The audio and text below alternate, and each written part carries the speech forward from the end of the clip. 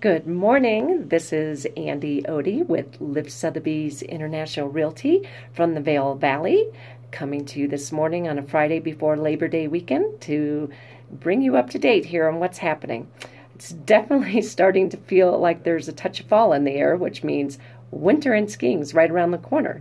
Uh, that's a good thing.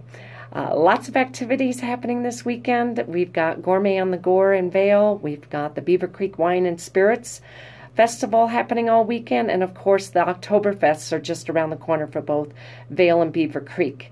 Uh, it's definitely proving to be active both in the activities and the real estate market right now.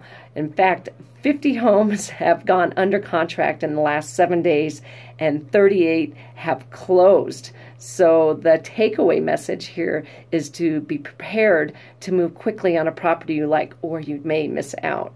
Uh, for those of you looking for some new construction, uh, I toured the new base camp townhomes which is breaking ground soon in the core of Avon, uh, right there on the river. They are three bedroom, three and a half bath townhomes starting at 995 and two of the 15 are already reserved. So uh, that's a definite uh, interesting project that's happening right now.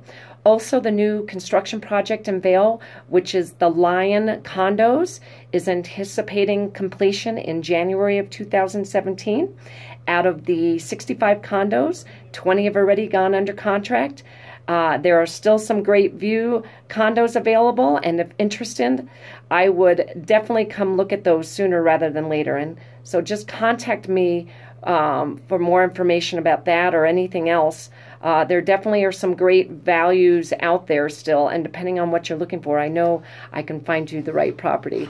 Uh, here's the info to get a hold of me both uh, my cell phone and my email. You can text or call. And until next time, have a fabulous holiday weekend and a safe one. Bye bye.